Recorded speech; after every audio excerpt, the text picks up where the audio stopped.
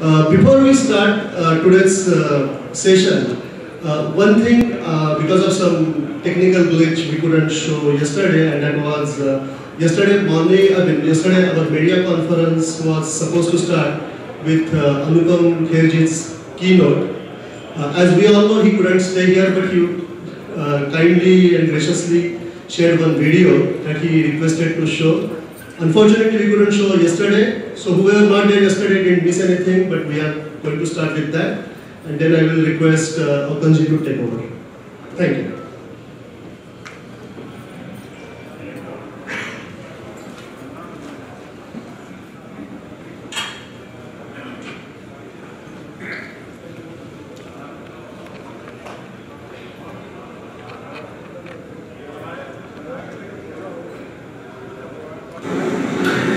Namaste, my sisters and brothers. It's my pleasure to welcome you all to the Hindu Media Conference of the World Hindu Congress 2018. I was looking forward to meeting you all personally, but today I have to be in Toronto for the world premiere of my film Hotel Mumbai at the Toronto International Film Festival. The film is about the terrorist attack on Taj Hotel in Mumbai on 26/11. So I will miss the conference, but I'm sure our roads will align again in the near future. September 2018 is a special month and year. 125 years ago, Swami Vivekananda delivered his memorable speech that not only reverberated the parliament of the world's religion, but continued as a guiding force for Hindus around the globe. It was a time when this newly formed nation, the United States of America, barely knew about Hindus and Hindu Dharma, barring a few great thinkers like Ralph Waldo Emerson, Henry David Thoreau. Very few understood the philosophy of Hindu Dharma or its place in civilization, especially with the narrative about Hindus and about India being said by people not actively from the culture. There was little factual knowledge about India in American society.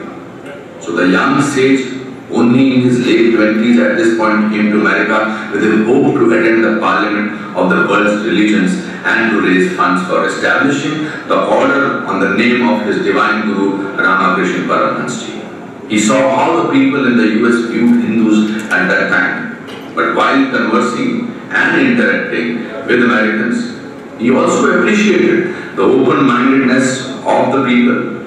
He used their social medium, real social media to educate others about Hindu Dharma. Since then, many Hindu spiritual leaders, professionals, entrepreneurs, academicians, and intellectuals, literally Hindus in America from all walks of life, continued to represent the universal values of Hindu Dharma, helping to increase the acceptance of and respect for Hindus in American society at large.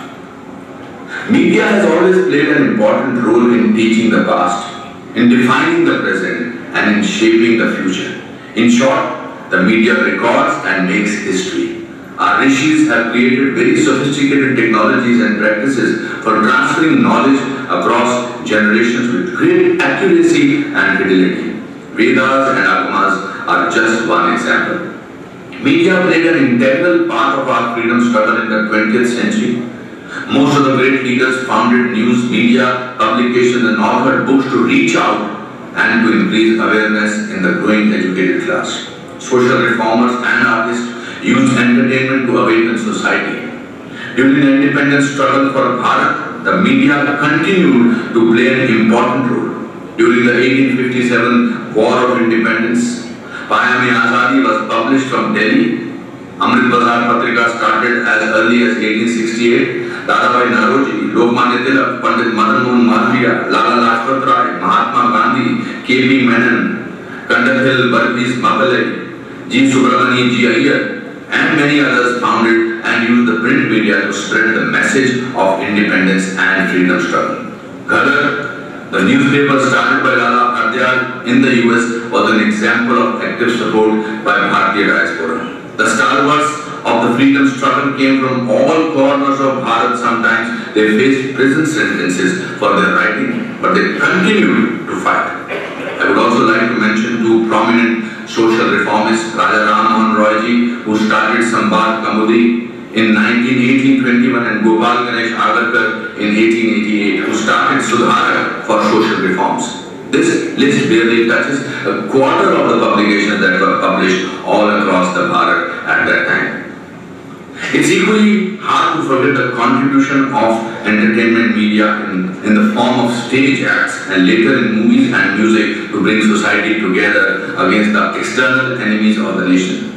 The role of entertainment media was sometimes more important as it reached out in regional languages to masses who couldn't read or write. How can we forget the use of Free India Radio by Netaji Subhash Chandra Bose from Berlin to spread message of Azad Hind Sena?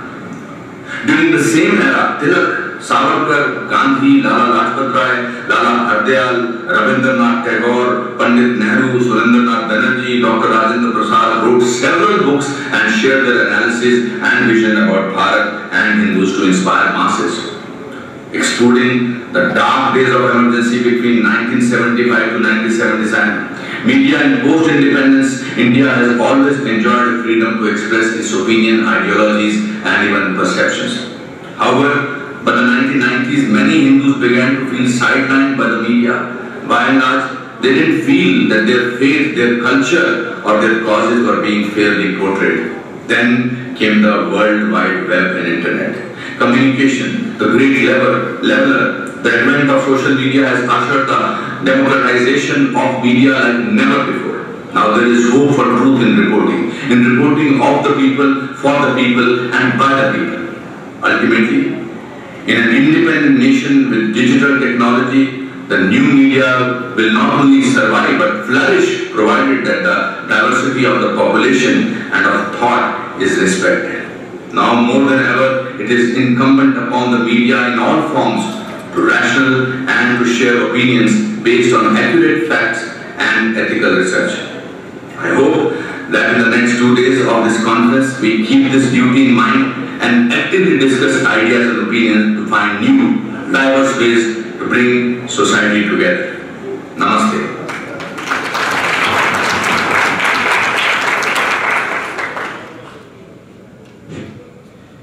That was a wonderful message by Anupam Kherji. But before we start, um, I would like to start with a quick prayer.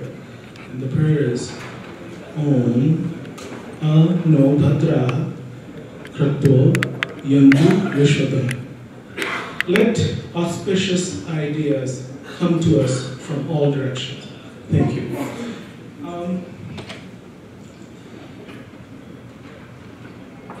everybody has cell phones, smart- smartphones, right? You do? I'm not asking you to turn it off. Please use it. Please use it to live stream, tweet, live tweet, Facebook, everything. Just use uh, hashtag WHC social media. Okay? Um, it's really a pleasure to be here uh, talking about social media, and I'm sitting among the giants of social media as far as Hindu perspective is concerned. Uh, starting with Sunanda ji, Sunanda Vashisht, she is the co-founder of Mind.net, and she uh, frequently writes on that portal. But before she joined that, she has been a writer for a long time. Uh, she also runs a very uh, popular podcast, Mind Makers Podcast. She's from Houston. We have ji, the warrior. um, she, she's also a writer, independent writer. She has been writing on several portals uh, in different languages as well. Uh, many people know she's a sari expert too along with monk temples. And she writes the, her travelogues too, right? So, welcome Shefali We have Vinay Singhal uh, he's the founder of WittyFeed, um, a social media company. And um, he has, through his company, generated so many followers, 3 million, right? Wow, 100 million globally every month. And I'm sure we'll get to hear from him, from him uh, more details about it.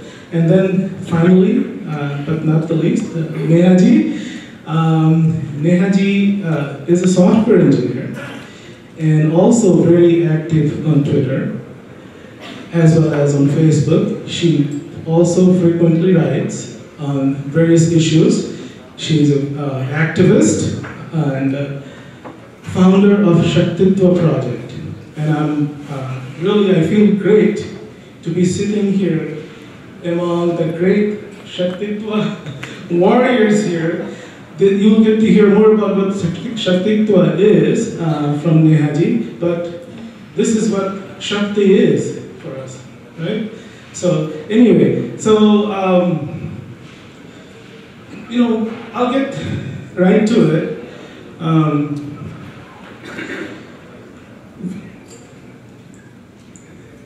I, I, I had a great opportunity. We hear a lot about JNU, and I had a great opportunity to be at JNU and learn from some of the great rishis who are the modern day professors. One of them is already here. I didn't learn from him, but I know him. Professor Makarand Paranjape is here. And he has uh, recently been appointed the director of Indian Institute of uh, Advanced Studies in Shimla. So congratulations, Makarandji. And I also got to learn from Professor Kapil Kapoor. He's a great Indologist. Those who know him, you know.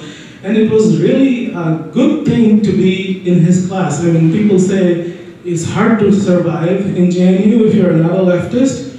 Talk about Professor Kapil Kapoor. There are a lot of people all the time taking his classes, and he was very popular.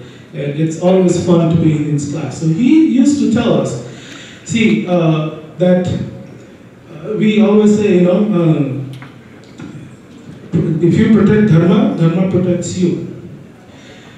But how do we protect Dharma?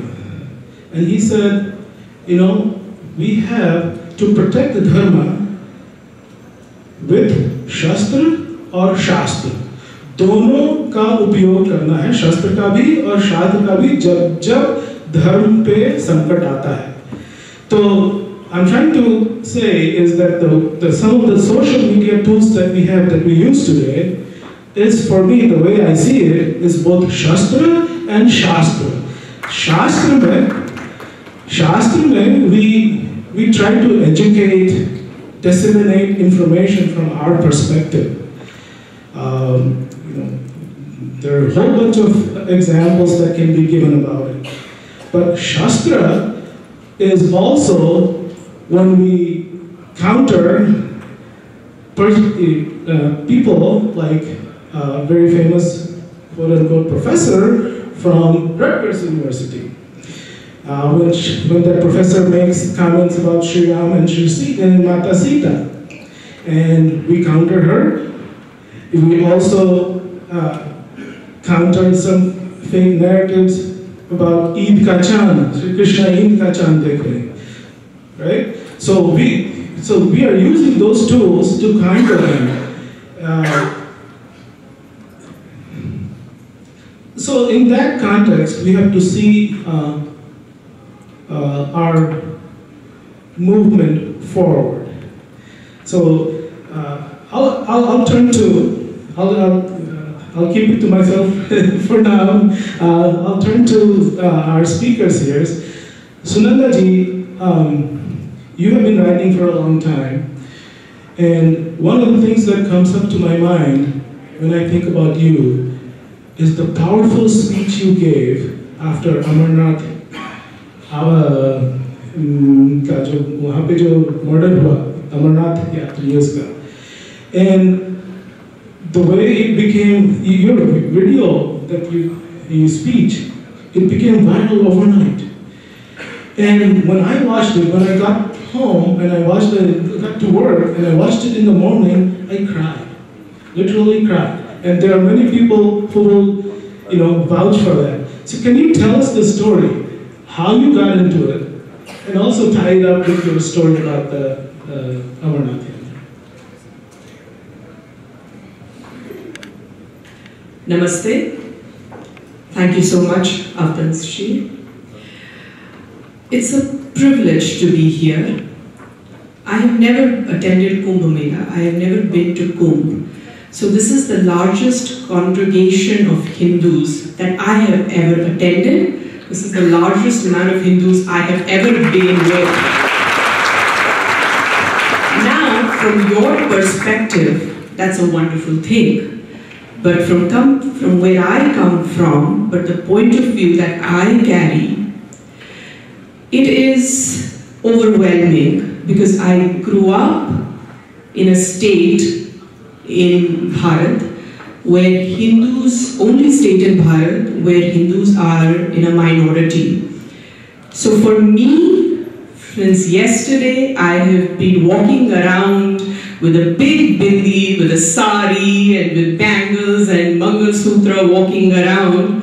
None of you will imagine how happy that makes me because I spent my entire childhood not knowingly, not not on purpose, but very aware of my Hindu identity, and I'm ashamed to say, even hiding it, because that was the only way to survive. That was the only way to avoid trouble. That was the only way, as a girl, to stay out of any kind of, you know, um, trouble, stay out of the way of any kind of troublemakers. So to the World Hindu Congress, my eternal gratitude for inviting me here and giving me this wonderful opportunity to be with you all.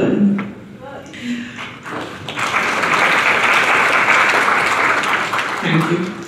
Avatansji um, actually set the ball rolling with um, that little um, uh, story that he said about um, Amarnath Yatra um, you know, the speech I made. Let me give you a little story about that, and then I will tie it with social media and how I've been involved in it, and my other points that, uh, substantial points that I want to bring forward to you about um, social media and how I feel it can be used. So, um, I was traveling and this invitation to speak, and I was traveling when uh, this news came, which was nothing new to me, but uh, it was a news nevertheless that um, pilgrims, Amarnath pilgrims, Shiva devotees had been attacked. And in a bus, a bus, they were going in a bus and they were attacked. Some of them had lost their lives, few had been injured. And there was a Amarnath uh, for the victims uh, in Houston. I live in Houston, and the organizations, the Hindu organizations, got there together to do, um, uh, you know, a prarthana sabha, and I was invited to speak there. My colleague Adit is here. He was with me, and he will bear witness to it. When I walked into the um, room, I thought I will just, you know. Uh, what does one say after 25 years of persecution? I thought I will just go and I will say all the appellant um, statements, I'm sorry, this happened, and I will just go because after 25 years one tends to get tired. And then the priest there, he um, said some mantras for the peace of the people who had lost their lives. And that is when something happened.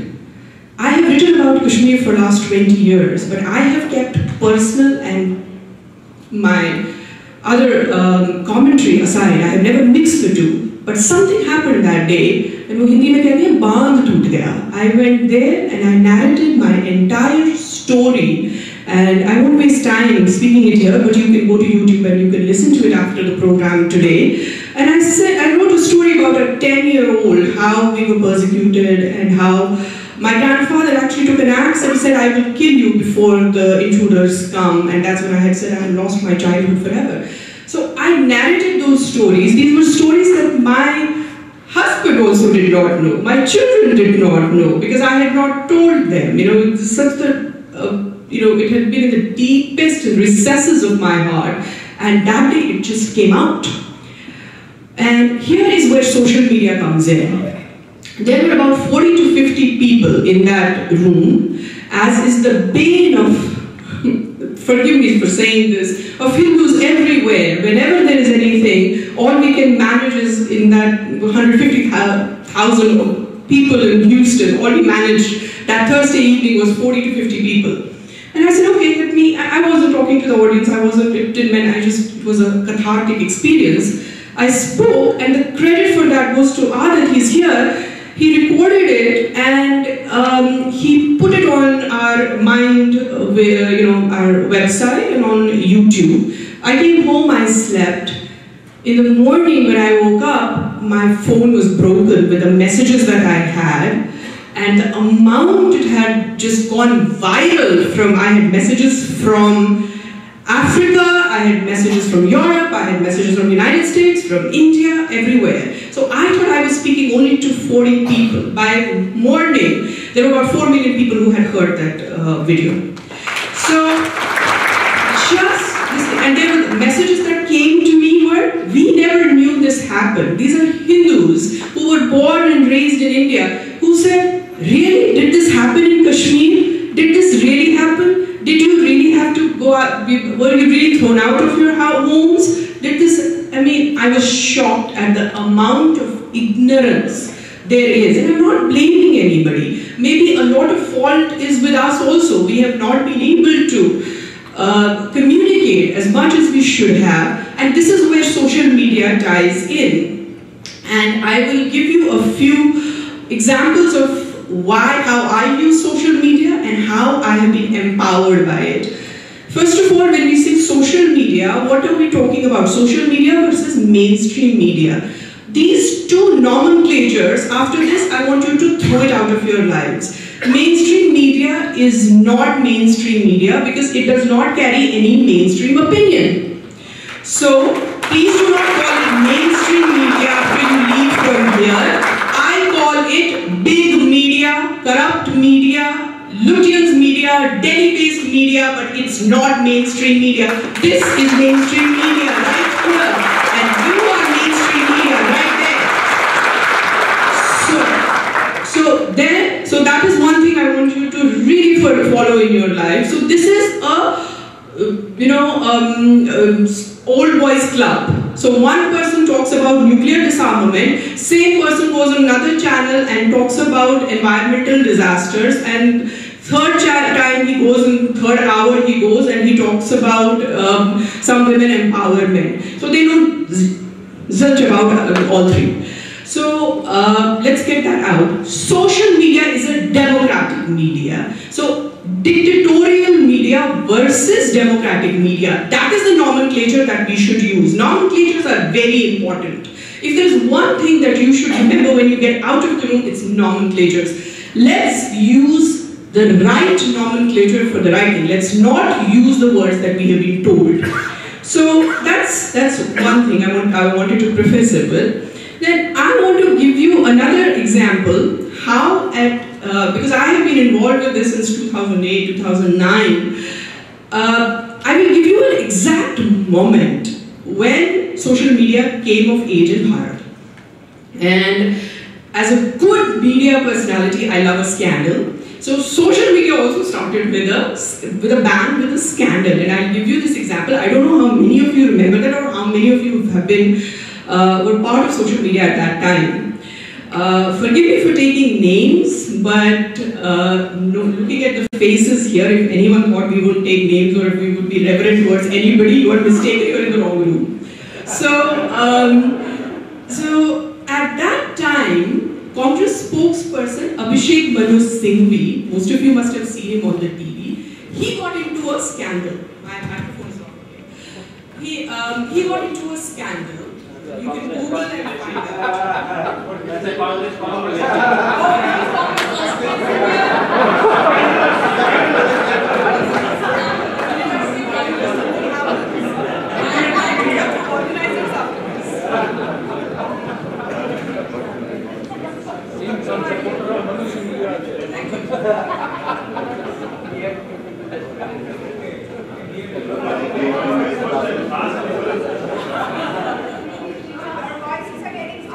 Our voices are getting, this is intolerance. is no one from the so-called uh, media here to carry this message?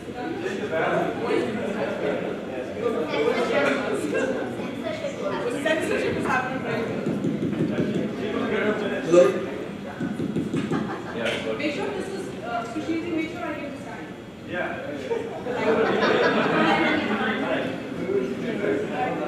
Are you the timekeeper?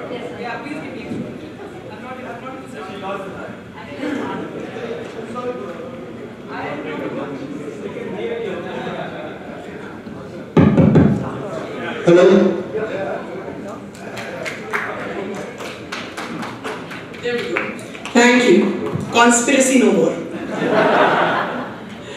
So he got Google this. So Abhishek Manu Singhvi got into um, some trouble. And why it was interesting to us, uh, no one cares what he does in his bedroom, but why it was interesting to us was um, because he was he had promised um, somebody some um, you know promotion out of turn for a sexual favor or something.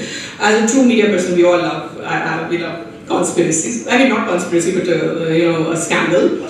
So we love gossip also. So this tape, this is in uh, 2012 um, framework. This tape emerged somewhere and it was stifled by the Lutyens media and it was not, uh, it went to all media houses but no one paid it. Of course there was UPA government in power. It emerged on social media and suddenly within hours everybody had seen that um, tape. This was the first bona fide social media moment. It was a it was a story that was um, you know bro the story that broke on social media that was sustained on social media for a long time. Of course, he was thrown out of his spokespersonship or whatever and he was back in six months. That's how it happens in India. But that's not the, that's not that's not where we go. But what I'm saying that was the first time something of that thing had happened, and everybody was talking about it. And that time I wrote a piece called News in the Time of Social Media. And so I'll continue. News in the time of social media, what that meant, and the um, you know, two things that I, and I'm talking about 2012. Two things that came out of I concluded in that piece were that after today, media censorship is a joke Media will never be able to censor anything now that social media is, I mean, no governments or anybody will not be able to censor anything now that social media is here. That was one conclusion I had drawn in 2012. Another conclusion I drew, drew in 2012 was, at that time, that there is not going to be my way or highway here now. Every single person who has an internet connection will have an opinion and every single person will voice that opinion. I had a lot of people, so if you know um, um, now editor of print and at that editor of uh, uh, Indian Express, Shekhar Gupta, he used to get into a lot of uh, um, frenzy and the way he used to, because he was part of the Old Boys Club, so he would always say that not everyone who has an opinion is an opinion, it's a point of view. So an opinion cannot be a point of view. I mean, a point of view cannot be an opinion. When he said opinion, he wanted to say opinion page in the newspaper. And that is something. And then after that, um, three or four years after that, Mr. Gupta often wrote to me and said, could we please have your opinion for my website? No prizes for guessing if I agreed or declined. But this is where we have gone from, from dismissing us as point of view, from dismissing us as chaotic, from dismissing us as someone who, you know, people who have no knowledge of what they're talking, only we do, to invite us to write for their portals, which is, I mean, for us, it's not um, anything, um, you know, uh, I don't consider a privilege or anything, but I'm saying this is where, this is how the trajectory happened. And I'll give you quickly, I know I don't have time, I'll give you quickly three examples. One of um, where social media has done extremely well. Another, and you can keep adding examples uh, you know, as you go. Another um, um, example where social media has done middlingly well. And one example where we have completely failed, despite all the stuff over here. So one example where we have, been very successful is India Pride project that is run by a good friend of ours, um, Anurag Saxena and his other friends. And this is, you must have seen the tag, Bring Our Idols Home. This is about raising awareness about the lost heritage or the stolen heritage, the murtis that get stolen from in uh, Bharat, from the temples and they land somewhere in um, museums in New York and London and everywhere, then they get sold or whatever. So no one had this awareness. As Hindus, even I have to admit, I did not understand how big of a problem this was. So this group, India Pride Project, they actually did an entire um, research where they found that this money is also funding terror. That is when we sort of arose, but that is how they use social media very effectively create awareness about it. So if you follow Bring Our Gods Back Home, you will see that a lot of movies have come back and everything. So that's a very successful example and that makes me very happy. Second example is our own Kashmiri Hindus, um, the example of Kashmiri Hindus. Uh, the way before social media was um, invented or before social media came or even before internet came, um, we were, the story of Kashmiri Hindus was told like, um, you know, uh, 20 people were taken to hospital because of food contamination. And then 700,000 Hindus were driven out of their homes. That was the same tone and tenor used. Nothing was different. It was just like 20 people had been hospitalized for food contamination. So when internet came, even before social media, when internet came, there were bunch of people, I'll just take one more minute, there were bunch of people who, you know, chronicled this entire story about who we were, how, where we came from, what had happened to us, and it's only through the pages of uh, internet and through social media our story is alive today. And I'm telling you, I have one such activist, Lalit Kaul, sitting right here, who painstakingly wrote the names of every single martyr of Hindu, uh, Hindus who had fallen to bullets. Every single martyr. Not one Chor media or Reliance media did that. He did that even before social media. You can check it. And when social media came, so we got our film and we started talking about it, but we are still nowhere near any kind of, I mean, it's a whole story, we'll need another panel discussion for that. But I'm saying we've had middling success in just making our stories known. And I'm just last point where we have completely failed, and I'll give you an example of we have not been able to set the narrative, is cow slaughter issue. Cow slaughter issue is about legality and illegality. That is the framework that this debate should be framed in. The way it is being, because cow slaughter is banned in 24 states, has been banned by Congress government since 1947, even before that. So if anything that happens which is not legal, the debate is completely about legal and illegality. It is not a tolerance versus intolerance debate. At that point, you know, we have to ask, people who are talking about have to ask that is, is the society ready for cow slaughter? India is a representative democracy. If people are really, uh, you know, if they agree that cow slaughter should happen, then people who are screaming intolerance should go to their representatives and lawmakers, and lawmakers should take a stand before all of you and before all their constituents and say, listen, we are going to bring a law which will allow cow slaughter. Why do lawmakers not take that stand? You know why? Because there is no public opinion for it. So, the only thing that happens is in TV studios they sit here and they talk about tolerance, non-tolerance, which is garbage. The real issue is legality and illegality. But here we have not been able to form the narrative. So this is something I take blame for as well, that anytime you see anything about Gohatya, it should, the debate should only be framed till the law is there. Till the law is there, till the lawmakers in parliament go and change it till the law is here, it should completely be about legality and illegality about this. And I will take more questions, I mean, I have to say more, but when question answers happen, I will um, say more. But thank you for your patient Yes. hearing. Thank you. Thank you so much. We will have a question and answer session. But uh, moving on, Sushil ji, uh, taking a cue from Sunanda ji, next All Hindu Conference में social media नहीं होना चाहिए नया नया nomenclature होना चाहिए uh, anyway and uh, you know another thing that Sunanda ji talked about is the um, Anurag Kashyap's uh, Anurag Saxena's pride yes uh, pride India Pride Project. You can Google him, you can listen to his speech. It's a wonderful speech. And uh, uh, another aspect of that is still in the US, we have several murtis that are sitting in consulate, waiting to be transported back to India. So uh, they just they, they have given it to us, but they, they haven't made it back. So please uh, keep that in mind. Uh, moving on now uh, to Shefali Ji. I'm just going from left to right.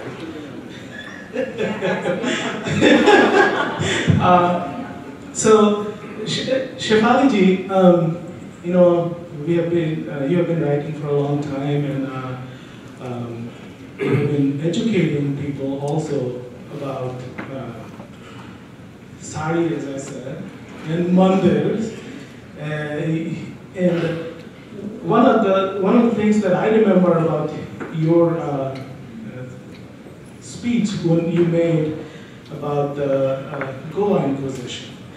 Um, I don't know how many people know about it, but there is one story that Shefali ji, through her social media, had brought in the fore, and now uh, we all know, right? So I will ask you to talk about a little bit about that journey, but also please talk about some saris in temple too.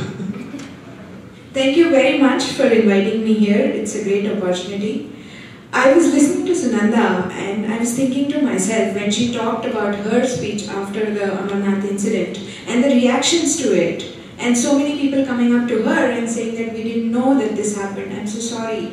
I should have known it.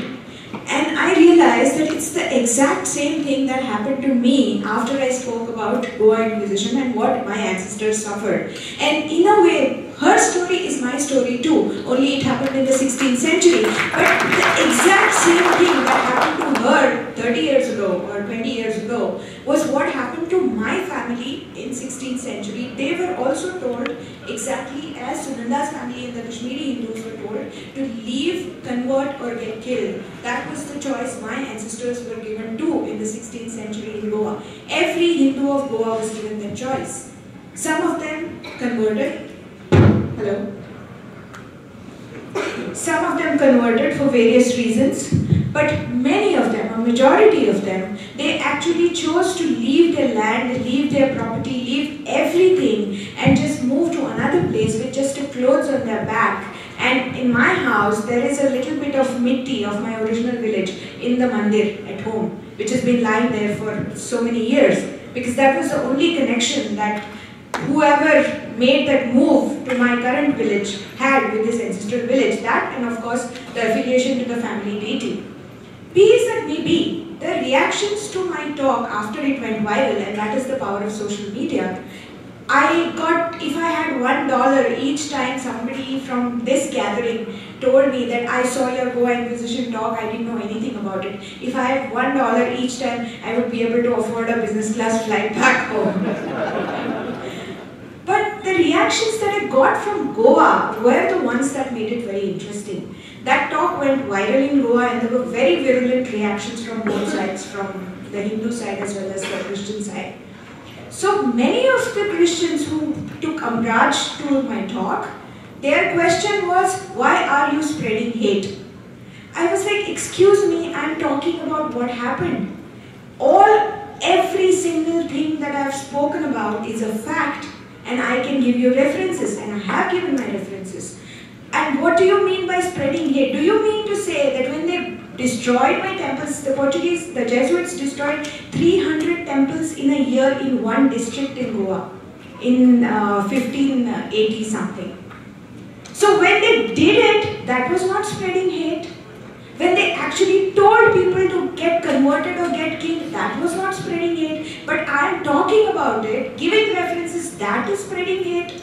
How, how, how is this narrative even done? This is where social media comes into the picture because when I gave this talk at Srijan Foundation, again the room was full of 40 people. But once the talk was out there in social media, close to some 10 lakh people in India have seen the talk. And I have received so many letters and some genuine queries from Goan Christians wanting to know about their history. And that has counted as my success. I tell you a little about my journey about social media. Actually, I had taken a long break from writing. I used to write on lifestyle uh, issues. I used to write on textiles, travel before that. I was always opinionated, as you can imagine. But uh, before uh, my kids were, my ki- I have triplets, my kids were very young then, so I had taken a break. And that time I used to only write about, uh, you know, my political opinions only on my social media page, but mostly I used it like a new parent does to tell the world about how great my children were. I'm sure all of us have done it. But suddenly, in I think it was in 2011 or 2012, I'm not sure, when Rahul Gandhi was first made the vice president of the Congress, that's when I got really bugged and I had to vent it out. So I wrote a post on my Facebook, which was open only to my family and friends. But somebody shared it, and then overnight it became viral. And that's when I suddenly realized that here is a platform where I can speak about things that really matter to me, and it reaches a wide audience without any gatekeeping, without any editorial control, and I don't have to depend upon an editor, I don't have to depend upon any platform. Whatever I say directly reaches people, and which is what the main, the so-called mainstream media was supposed to do. Their job was to give voice to the dispossessed. Their job was to talk about the inequalities, about the injustices, give opinion to people who didn't have an opinion. But the big media didn't do it. So it was left to social media and individuals like me or Sunandaji or Neha to talk about whatever really uh, mattered to them. And that is how the whole journey began. And if you want to know the success of social media, you should see how the big media has uh, transitions from describing me. When I started off writing, I was just a housewife turned troll. Then gradually I became a right-wing troll. Then I became a right-wing columnist. Now I am an independent writer and blogger. This is not me speaking, this is the big media adjectives that they use for me when they introduce me. And that is the power of social media because in four years, I see that I have moved from this position to I am where I am. But mainstream media, the alleged mainstream media thinks that I have moved from housewife turned troll to independent writer and blogger. And it is not just me as an individual. You look through uh, New York Times, uh, uh, New York Times articles. Just search Hinduism and search uh, New York Times. You will see the entire history of articles that they have written. They have moved from calling Hindus to Hindu extremists, to Hindu fundamentalists, to Hindu nationalists now. They, the rest of the content has remained the same. The pejorative, pejorative uh, insinuations, the abuse, the kind of topics that they choose to write about have remained the same. But the adjectives have changed from Hindu extremist to Hindu, to Hindu fundamentalist to Hindu nationalist. And why has that change come across? That is led by social media. Social media catches lies. Social media gives you facts. Social media is so quick that if big media makes an error within two minutes, literally within two minutes, somebody will find the two facts and somebody will put it out on Twitter. Uh, Sunanda ji spoke about that uh, unfortunate tape of Abhishek Manu Singhvi. I wish she hadn't because when I saw that tape for two days, I was off my food, quite honestly. So I wish she didn't really, you know, talk about it and bring back those sad memories, but never mind. Chronicling the history of social media. But that is the thing, and if you look at it, mainstream media has killed so many stories. The alleged Lutyens media has killed so many stories just because the narrative was not convenient for them. Yesterday, Dalip Singh Ji, who is the spiritual leader of Namdhari speaks, uh, uh, spoke here in the plenary session. Did you know, we all know about Jallianwala Bagh massacre. Do you know about the Malerkotla massacre? Do you know that 70 Namdhari Sikhs were blown away by making them put their heads into a cannon by the British? And do you know why that happened?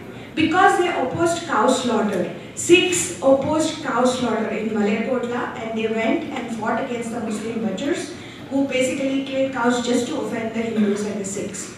But nobody is going to tell you that story. It's only social media can. It's only handles like True Indology who can tell you about these uh, facets of history. But what social media will tell you is they will tell you about one small incident about Gorakshaks lynching somebody day in and day out. That's all they tell you. They wait for some person to make an inflammatory statement. And of course, there are fringe elements on every side.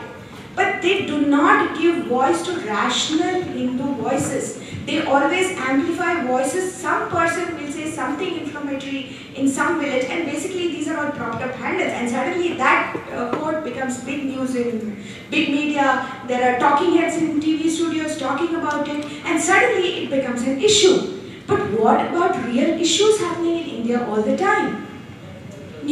Times or other big media, international media, will tell you about Gorakshak's lynching ad nauseum, will go on and on and on about it. But Madhu Pandit Das runs the biggest midday meal program in the world. 1.7 million children are getting fed uh, through Akshay Patra Foundation. Where is that story? It's a beautiful human story. It's a, it's a humanitarian story. It's not a Hindu story. It's a global humanitarian story. But where is the narrative? Where do you see it in mainstream media? But one killing somewhere in some small uh, village somewhere in India, and then suddenly it becomes big news internationally. And I'm going to talk here about, I don't know how many of you are aware of the Elphinstone Road tragedy, where the railway bridge collapsed. And there were people, there were ordinary people there trying to save the women who were stuck on the bridge. And there was one guy who was trying to grab a woman and pull her out. And his video got circulated, and uh, the Hindu, I think it was, they did a story, a full story, and they called that man a molester, and they said, dying woman gets molested in India. And that story was caught by the international media within like half an hour. In two days, it was there in the Independent, it was in almost all the big international newspapers. And there was no truth to it. That is the sad part of it. But that man, imagine if you were that man. Imagine if all you were doing were trying to save a dying woman, and at that point of time you're not looking where you're touching. You're basic, you're, you're in panic, and your only priority is to save that person. So the video was an 8 second video. On an 8 second video, somebody played the judge, jury, and the executioner and termed this man a molester of a dying woman. Can you imagine anything worse than this? And this story was flashed all over the place. But social media, within one or two hours, they actually came up with longer videos, videos taken from other angles, where it was clearly obvious that the man was trying to save the woman and not trying to molest her. And afterwards, of course, the Hindu issued an apology after three days on page three, but by the time the damage was done, internationally the story had reached. And what opinion do people have? Already they are eager to call India the dictator of the world. You know, these terms can be cheap.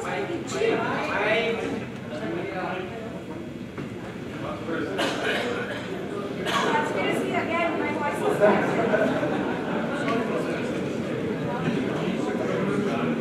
I'll take this opportunity to uh, make a quick, uh, quick point here. I got a note that uh, saying, uh, ask uh, speakers to come up to the podium and speak. Uh, we talked about it, this, this format uh, amongst ourselves, and we decided that this format, we even didn't want to have this format because we don't want to talk from a higher pedestal. We are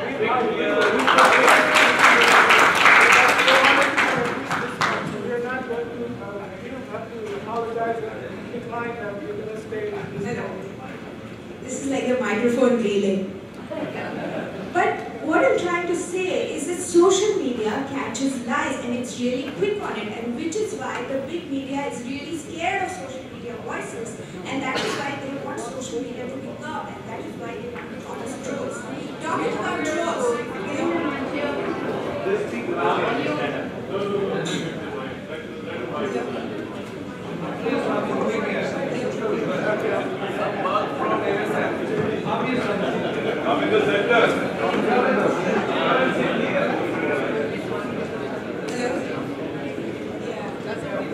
Hello?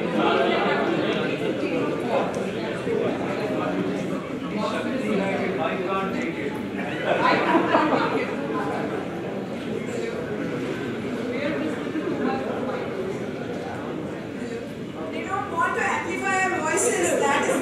Hello? Can you hear me?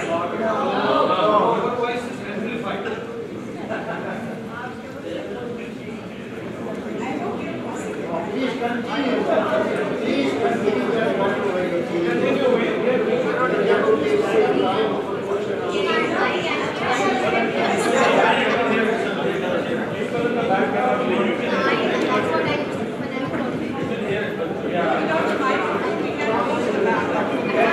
Hello? Hello? Yeah. Okay, now where was I? Just give me two minutes. So, so talking about trolls, there is always this whiny narrative from of women on the other side, mostly it's women, about how alleged right-wing trolls threaten them or, or uh, you know, make life miserable for them. I can assure you that every one of us on this side of the table have been trolled equally badly. I have had to complain to the cops twice. Once when my family was threatened. I cannot tell you how bad it was to read a threat to my daughter from uh, somebody who's obviously a fake name.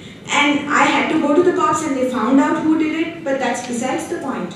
But I'm not the one who's going to cry victim. I'm not one, not uh, one to say that, oh, we are getting trolled as well. But what really upset me once was when Nepotism and Dynasty TV was going on this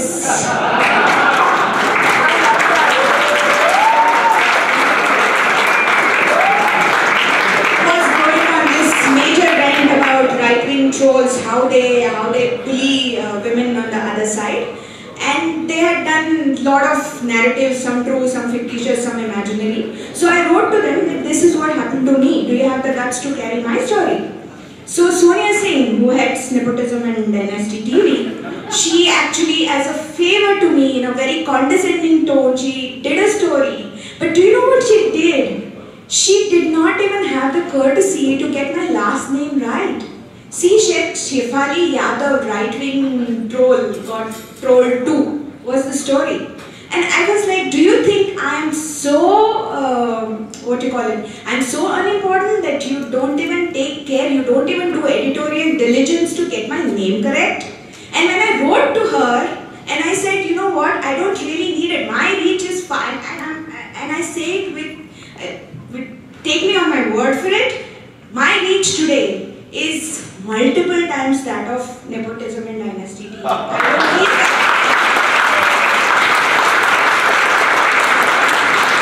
I don't need them, they need me. They actually called me to come on their show. I told them I'm not interested in talking to nepotism and dynasty TV. That's besides the point again. So she wrote to me saying that, oh, but we did a story for you, you should be happy, like she's doing me a favor. This is the attitude that the big media brings to the table always. And this is, and on one side they're saying that you guys don't get trolled at all, we are the only ones who get trolled. And on the other side they're saying that your freedom of expression should be curtailed. Makarand Deshpande should know how much the big media, the editors of the big media harangued him when he was trying to curate the Pondicherry Literature Festival. Who does that? Sorry, Makarand Paranjape. Who does that? Talk about freedom of expression in the morning, evening and night, they are the same people who basically demonize literature festival and say they essentially said that it shouldn't be uh, it shouldn't be held at all.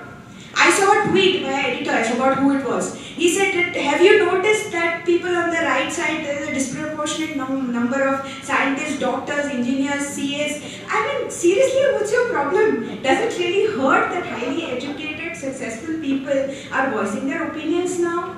Are opinions an exclusive uh, monopoly of uh, journalists? So a journalist can write about anything from sports to science to economy, the same journalist.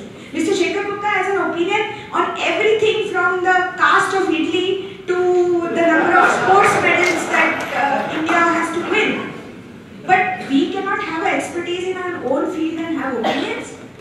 This kind of monopoly is what the social media has destroyed and the big media knows it. But now what is happening is, in 2014, the narrative was overwhelmingly on the side of social media, on social media.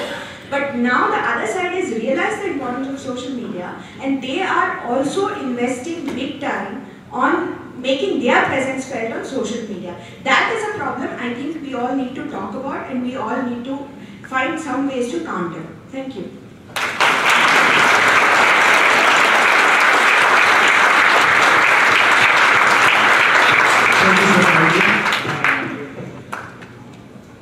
You know, uh, she talks about the mainstream media, and especially when we talk about mainstream media, we think of English language media. Um, I looked at the BARC data. BARC is an organization that keeps the uh, viewership of all the news channels. If you look at the data, the top five news channels in English.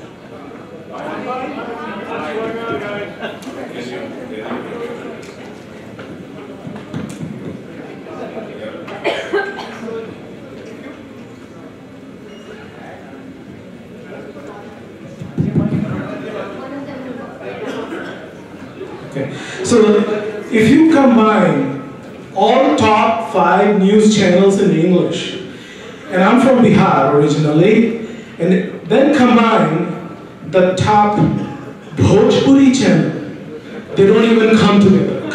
Okay, just one Bhojpuri channel, they don't even come together. So that's you know, but they have power. But moving on, uh, that's a good segue here. Uh, sitting to my right is Vinay Singhalji.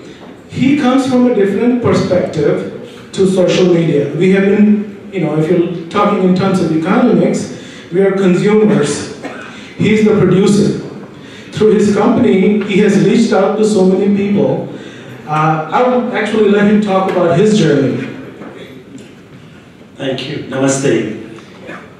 You know, uh, the best thing that I loved about this conference, and I'm very new to uh, this type of conferences, is that uh, everyone here when they greet each other, and I've been I've been talking to a lot of people who are coordinating for this talk uh, for last two three months, and then last two days here and meeting probably at least hundred people in last two days. Everybody greets you with a namaste, and they take your name with a G, right? I, I need to I need to appreciate the World Hindu for doing that as a norm across. So round of applause for all of them. Yes. That's that's culture in the most native format. Why I was able to notice it because I run a company uh, which is a content media company and, and uh, the way we make money is we work with brands to integrate them into content and do, do the native content marketing. The, the idea is... Hello.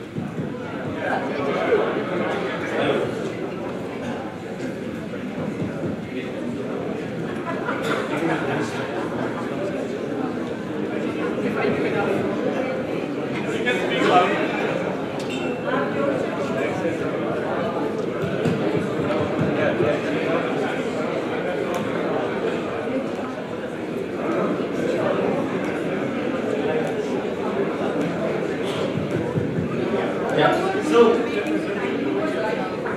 yeah. yeah, coming back. So,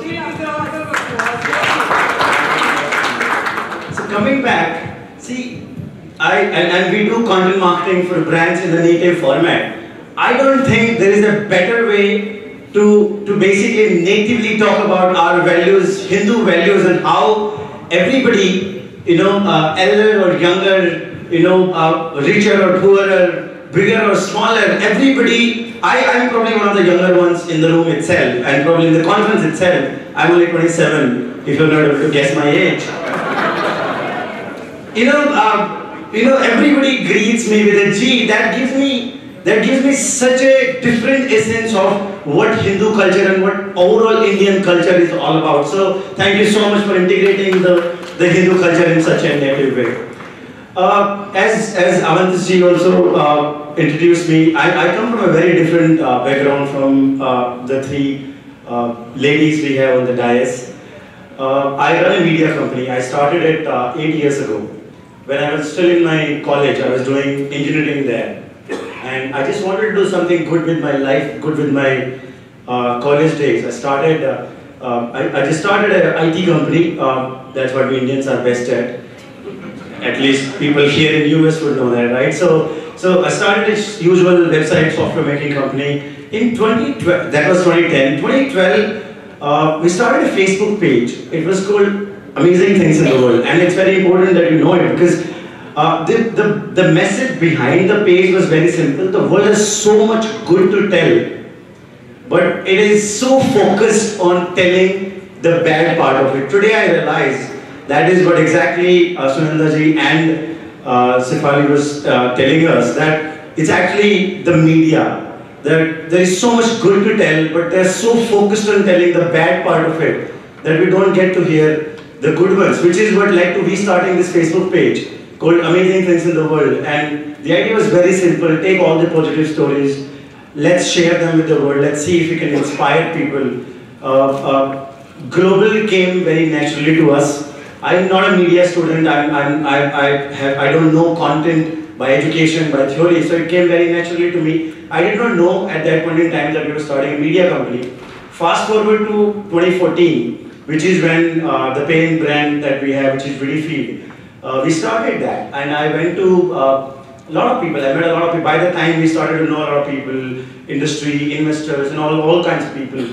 And I, tell, I, I went to them and I said, know, I, I have built a community of global citizens who are uh, from US, from UK, Canada, Australia, from India, everywhere, and they are there to celebrate some positive content. I want to build a company, I want to build a global media company from India. And you know what? Every single one of them, I don't remember a single person telling me, and that should tell us something again about the media and the narrative in the media and, and the kind of confidence we carry in India about ourselves. Every single industry person, every single investor, every single of my friend, mentors, advisor told me that first of all, India cannot produce global companies, and second, they told me, even if it was possible, you're doing media, India just do not know how to do global media. I'm so proud to tell you today that out of 100 million users over a month that we on our platform, 60 million of them are not from India. And these are not Indians that I'm talking about. Every third American was on our content, American, on our content in 2016 and 2017 both. So the kind of power that we hold with that, the kind of influence that we can bring with that, is just enormous. So, so you know, this whole industry, this whole, they, they give a different, different nomenclature to, uh, you know, uh, the, the mainstream media or the Lutyens or the, uh, you know, dictatorial media or whatever it is. Uh, I'll tell you what, we, we, we have a suppression history of 800 years right? And whatever we are today, we have been, we are, we are almost a product of that.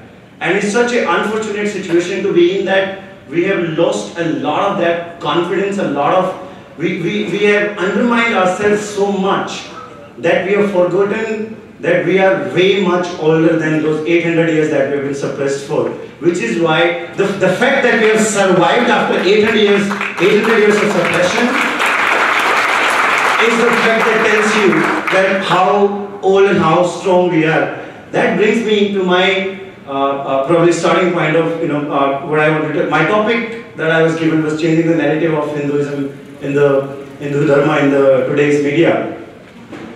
The, the, the term Hinduism, the, the first ever uh, time the word Hindu uh, was used was in 1823 by uh, a British lord called Lord Macaulay. He brought in some philosophers and uh, he brought in some intellectuals, so-called intellectuals from uh, uh, uh from UK and brought them to India. And he built a committee where the the idea that he gave in the statement that he made to them that we we we do not want to win over India or rule them just just by government or rule them. We also need to enslave them intellectually. And so we need to create a class of intellectuals. We need to create a class of intellectuals slash interpreters who will basically be enslaved and will be British in their every thought, but Indian in their looks. And, and which will be able to basically then help us enslave a larger society in the, in the country. The word became, the, the Hindu word in Hinduism became even more popular in the 19th century, and that's the, that's the whole history of it. The real, the real word for our dharma, our religion, is the word Sanatan Dharma, right? That's how we all know it. And do you know the actual meaning of the word Sanatan? The word is eternal law, the eternal law, the, the laws of living life even before the human history. That's what it exactly means. I'll tell you what, this is not even a religion. This is basically nothing but a simple collection of some rules, some rituals, and some traditions put together to have a happy and prosperous life. Can you ever explain any religion more simpler than this? That's the beauty of Sanatan Dharma and Hindu Dharma for you, ladies and gentlemen. So, uh, let, let, me, because I come from a, uh, I come from the younger generation and I come from a company which I built on the basis of technology, I built the content company. And a lot of people when I was talking to were asking me a simple question that, you know, how do I explain uh, uh, religion, how do I explain Hinduism and why it is so important, this dharma is so important to my kids. I, I follow it, but you know, how do I take my kids to temples? Let me explain in their language. In technology, and because all of your IT people, a lot, lot of your IT people, you'll understand that much better. There is something called platform, and there is something called product, right? When you build a platform, a lot of products are built on the top of the on the top of the platform. For an example, internet. Internet is a platform. Internet is a platform that uh, that made the whole media democratic, the whole world more democratic. It brought in everybody's view out there. It was it was a platform, and the products of internet were you know platforms like Facebook, Twitter, Google, and you know all the all the companies that we know, all, all the things that you know people who are still sitting in front of you on the dais are products of internet, uh, which we built on the on the on the top of the platform. Hindu Dharma is exactly like that. Hindu Dharma is the platform. It is not the product, it is the platform. There are a lot of products that you can build on the top of that. Another language that I will, uh, another analogy that I will make is Hindu Dharma is the is the open source religion of the world. It is, it is the open source religion of the world. Why? Because in when, when you have something open source, anybody can take it, anybody can build their own narrative of it, Anybody can make some changes into it and it will still accept. And anybody can rebrand it in their own name and sell it and it's still okay. I'll tell you what, there are so many of them that we have that have been built on the open source platform of Hindu Dharma. For example, just give me one more minute and I'll finish. For example, Sikhism, Jainism, Buddhism, these are direct products of which are built out of the open source platform of Hinduism and so proudly so, right? Islamism, Christianity, they have taken so much from the open source platform of Hinduism and built on the top of that. So we are the open source platform. I don't think we have to be fearful or worried about any of that. We just have to we just, we just have to make sure that we know that and we're able to tell that to the next generation as well. I have a lot of other points that I've built, but just one story that I want to share with you, which is that Today, the narrative is controlled by the, the mainstream, so-called mainstream media is because the ownership in media, 85% of it across the world is, is Christians, Jews, and Parsis, and in India, the leftist. I'm not saying there's anything wrong with it, but for sure, there is no way those who do not understand Hinduism as an ideology, as a basic instinct, will ever be able to portray it in the right way. Just one story and I'll end that I'll end my talk with it, is that we today own six different brands. As I said, uh, Feed is our Indian brand, uh, the Popple is an American brand, and we, we have six, six of them. Uh, very recently, uh, the, the, the, the sad incident of uh, demise of Atal Bihari Ji happened. And uh, uh, by default, we were, we were covering it. So Feed, the, the brand that talks to Indian audience was covering it. There, there are two other, so there's a Hindi platform, Dunia Digest was covering it, and you know, three of the brands are covering it. The Popple team, we have, we have a separate team, of course, to right side. The Popple team was, I, I went to them and said, you know, uh, what are you, are you guys doing, any, what are you doing on, on Bihari uh, his demise, Atalji's demise? And they were like, no, no, this is not our story, we, we, uh, why would we do it? It's, it's an Indian thing, if he's doing it? I said, okay. So I asked them a question, I said, tell me something, if the unfortunate incident of, let's say, Mr. Obama's demise was to happen today, do you think WittyFeed will cover it? They said, yes, he should. Dunia Digest will cover it, the Indian platform, yeah, yeah, they, will, they would. I said, why don't you think the Atalji's demise is a story for you? Because, I'll tell you why, because you are, you are, you're grown up in, a, in, a, in, a, in, a, in an environment where, where what they are is so global and what we are is not. And it's so important that the ownership of Hindus and people who understand Hindu ideology basically own media so that we can actually translate that into our teams and tell them that Atal Bihari Ji's demise is an international event because he is a politician of that stature and so the story on the popple has to happen because the American friends need to know about it and they will know it only when we do the story and that is the way we can control the narrative. So honestly, thank you. Thank you, Vinayji. Um, again, the talk about, uh, you know, all the negativity on the mainstream media and all reminds me, again, my, uh, my guru, Professor Kapil Kapoorji. He used to say, ये सब रुदाली है रुदाली है इनका और कुछ काम नहीं है So again, so let's uh, move on from the uh, from the Rudalis to big corrupt media. But these people have a voice, they have research, they are, this does not mean that we do, we carry un, um, you know, unsubstantiated stuff. We don't, we have full editorial diligence. But, so you have to understand that while we are getting on to the other side, we have to do our editorial diligence, we have to have substantiated stuff, and we have to create institutions. That is where the new um, uh, media persons, that's where the new journalists will come, that is where we will hone them, and that is where the new gen next generation will come from. The institutions that we create today.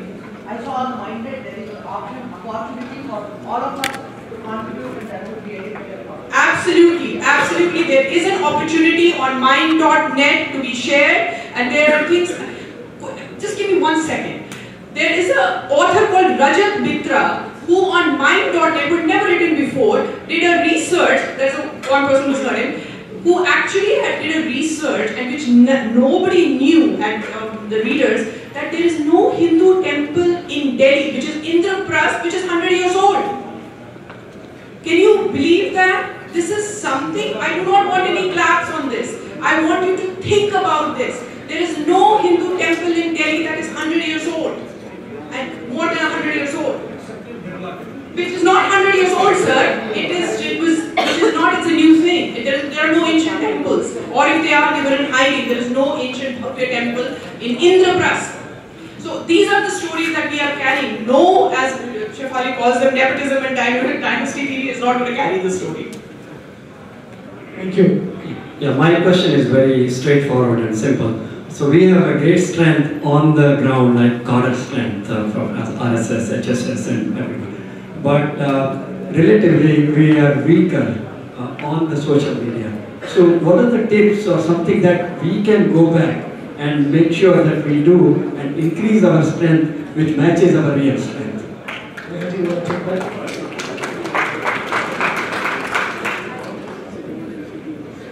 Thank you for asking that. This is a very important point that I've been trying to make to every anybody who would listen to me. Because you you have you have to understand that even though we are on social media and even though we are single-handling activists who are coming from different walks of life, you this is a this is hard work. And the reason it is hard work is because you have to understand your audience and you have to cater to your audience. And that is what social media, uh, mainstream media does for a full-time job and we are doing it as on the side. So the reason is because you have to understand that the same thing that works for a boy in UP does not work for a man in Mumbai. They're, they're different and there are social economic stratas that you have to be pay attention to. There are backgrounds you have to pay attention to. Something that might resonate in South India because it's part of their daily culture and daily routine does not resonate uh, equally in, in North India. We had unfortunate amount of and very little coverage for Chennai floods back in the day. I actually uh, captured pictures of both vernacular and uh, media, uh, sorry, vernacular regional media as well as English media newspapers. When the Chennai was literally drowning, there was no attention being paid in the north. That sort of improved in Kerala floods. But then we got together and we are from all different parts of the country and we started making noise about it, contributing to it. I was even part of a WhatsApp group of volunteers that was coordinating volunteers on the ground. So that was the kind of reach we get and we have to uh, uh, use it. So the things to learn about about is figuring out what narrative works, what connects with the people, and using the right jargon. So that jargon, which is being taught through humanities, uh, through every person in the through every person in the country, and is being dished out um, to the uh, to the masses at best, has to be adopted for you to make your point. So we have we can keep complaining about not getting enough notice, but you, if you're not using the jargon, if you're not saying I'm I'm oppressed, I'm a woman of color, I'm a person of color, if you're not saying that, it's not hitting home. So you have we have to adapt and do some purva paksha as we say. So we have to understand that. Uh, I just wanted to quickly make another comment here. As a linguist, I could not uh, uh, take, uh, could not, uh, I can, can just uh, uh, be quiet here. Um, one of the things that we don't use, like you know, there are lots of words that we don't use in language. One of the words we, I don't use, and a lot of people not, don't use, is vernacular. Vernacular is a very colonial word uh, to demean Indian languages. So um, I know she didn't mean it, but since it came up and my the linguist in me just came up and said, okay, so please do not use vernacular to talk about Bharatiya Bhasha. Please use Bharatiya Bhasha in the languages. Thank you. you know, the Jewisha Friends of Indian Society UK. One of the things which we are finding that the media around the world, the media around the world, especially United Kingdom where I can speak because I've been away, um, anti-India, anti-Hindu, and everywhere we see. How can we, you, you guys can help or any suggestions you can give us? I'll let uh, Shefali talk about it. This is not, thank you for asking this question, but this is not just a UK specific question, it's generally the situation all over the world. So I would urge all of us in this room eh, to be more assertive, to speak out. You have a tool in social media and you can use it to maximum effect. We have to build institutions, we have to build platforms, but we can begin with starting to speak our voice. And yes, and let us not, I mean, one of the major reason why the other side gets popular is because we share it. I mean, we so indignant about what they write that we share the links and most of the people who are actually clicking on those links because they're really angry are our people. If you must share, and I agree that it's important to counter, share snapshots, but do not share links. of revenue from what you're saying. You're saying it an angle. You share the link, they get the revenue, and they don't care about what you say. So do not share the link, share screenshots. Do not share the liar, do not share the tweet, do not share the troll, do not share nepotism and dynasty TV, do not share. Use snapshots if you must. And WhatsApp, do not ignore WhatsApp. WhatsApp is a major, major opinion maker. So if somebody shares something that you have a problem against, voice your opinion. Because most of the times I have realized it, the silent majority is, you know, is on your side. But they are waiting for the first person to say, hey, I disagree with this. If you say that, there will be five other people who say, would say that, yes, I disagree too. Yes, I disagree too. Yes, this is offensive to me. This happened in the, just uh, let me take one minute, this happened in the Kathua incident. After the Kathua incident, the kind of demonization that the entire Hindus faced was incredible. And nobody wanted to stick their neck out because the other side then would say, oh, you're defending rapists, and that's a huge charge. Nobody wants to be faced with that. So I saw one WhatsApp uh, thing on my society WhatsApp group, which basically said about, you know, uh, the rape happened in the temple, Devistan, blah, blah, blah, blah, blah. And this happened at 10 o'clock. Nobody had reacted to it till 4 o'clock when I came back. And I said, you know what, this is wrong, this is factually wrong, and this is why it is wrong. And when I put the facts out there, suddenly within 15 minutes, my WhatsApp was buzzing because there were at least 10 people who said that, yes, I agree, these are the facts. That narrative was false. But from 10 o'clock in the morning to 4 o'clock in the evening, nobody had said it. So you need to stick your neck out and make that point. Maybe you'll be alone, but you need to do that. One, um, so thank you very much, everybody. So um, with this, we will conclude this session. And you know what? We live in social media world. Let the samvad continue. We have everybody's, uh, uh, you know, the Twitter handle. Uh, we can talk over there since we're talking about social media, or them outside And but officially, we are concluding this session. Thank you very much. So thank you for that.